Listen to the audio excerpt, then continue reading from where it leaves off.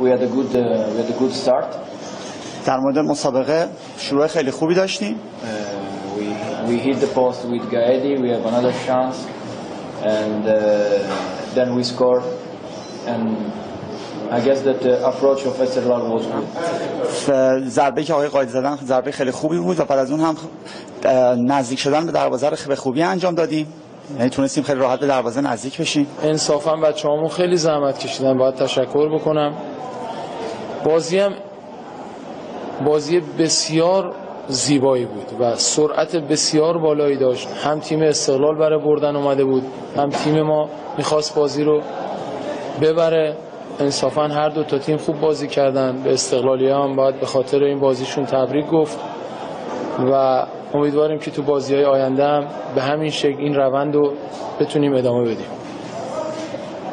In the second half, we restart to to close to try to close the game, to try to win, to score the second goal. در And, uh, we had several chances.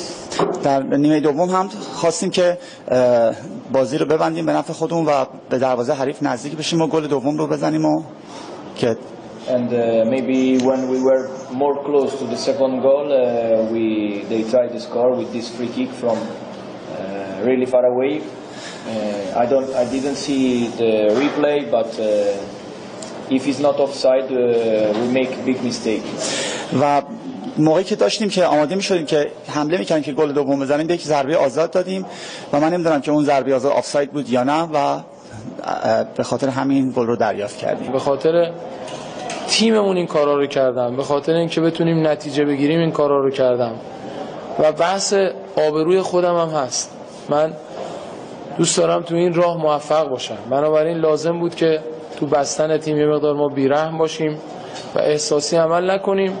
به هر حال برای اونایی هم که از تیم ما رفتن آرزوی موفقیت دارم. But overall, the team uh, had more chances than uh, more chances in like number compared with the first two games.